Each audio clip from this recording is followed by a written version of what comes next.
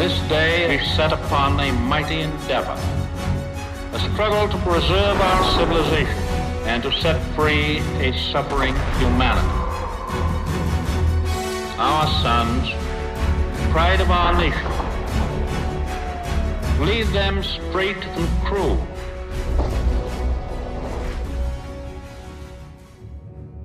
Call of Duty's long awaited return to its World War II roots is not only a homecoming, but also a commemoration of the powerful bonds that form between brothers in arms. Yes, connecting with strangers through online matches and the Zombies mode isn't unusual, but Call of Duty World War II's moving campaign also salutes the brotherhood that grows and strengthens on the battlefield. The end result is a game that delivers practically everything that one looks for in a pick up and play shooter set in the Western Front of World War II, while also breaking free of Call of Duty's formulaic trappings. A first person shooter set during the journey from Normandy to the Rhine isn't unique, but you haven't quite experienced anything like the tour of Ronald Daniels and the 1st Infantry Division in Call of Duty World War II. It's a substantial six plus hour trek where intense close quarters combat complements spectacular showcase events, brought to life through excellent visuals and sound design. We are all that separates the world from darkness. This, is so much more than a chance to be heroes in our own lifetimes. We prevail, our triumph will be etched into the hearts and minds of a grateful world for untold generations. I'm talking about glory, gentlemen. True glory. A supporting cast of well crafted personalities greatly enhances the narrative. They directly assist you during combat based on your needs and performance. Their contributions, which include replenishing health packs and grenades, are tied to a cooldown that decreases as you kill enemies. This kill driven method of supply replenishment is undeniably gamified, but it's nonetheless a crafty way to serve the narrative's focus on bonding with your squad. Combat is about hunkering down at nearly every fallen table, picking off just enough Nazis to give you an opening for the next cover point. And as you count on your squad for supplies and recon support, you feel empowered as a valuable team member in a company that has your back. Remember, no digging in at the shore. Gotta advance. You need to stay low and do not bunch up. Stick to your training, you're gonna make it through. I'm proud to lead you fellas into battle. Anytime, anywhere.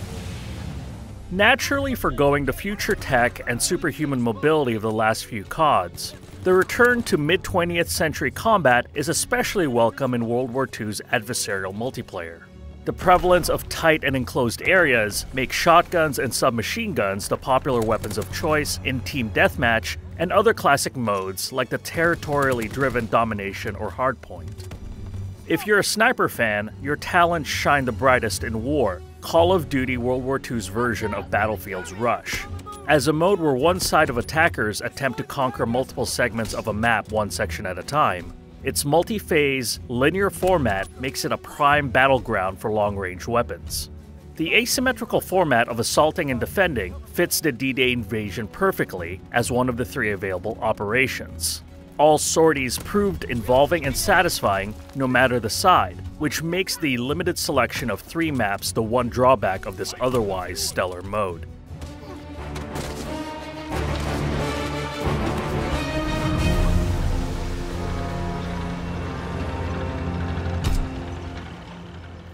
Whatever your preferred armaments, Call of Duty World War II's new Division class system excels by letting you make the most of your specific playstyle while offering the flexibility to diversify your loadouts.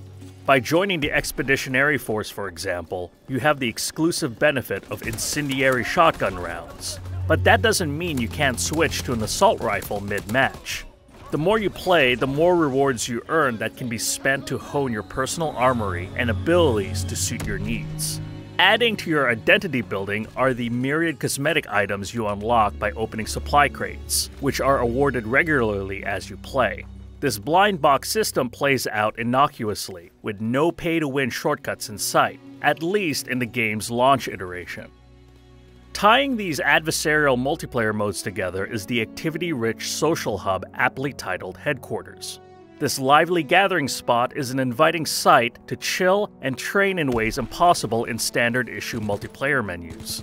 Between the cluttered user interface and the long checklist of available objectives, Headquarters feels overwhelming at first, but it speaks to the richness of this area's practical and entertaining activities. Headquarters even offers its share of stimulating gunplay. The marquee match is in the 1 versus 1 pit. Its single weapon stakes are socially enhanced by letting those in the queue watch current matches while they wait their turn.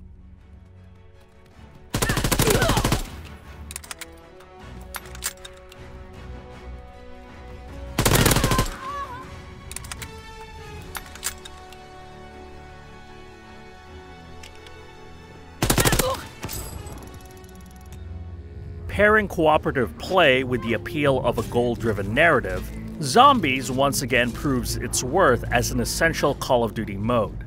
The survival mode of fantastical fiction pits players against waves of the undead in a Bavarian village.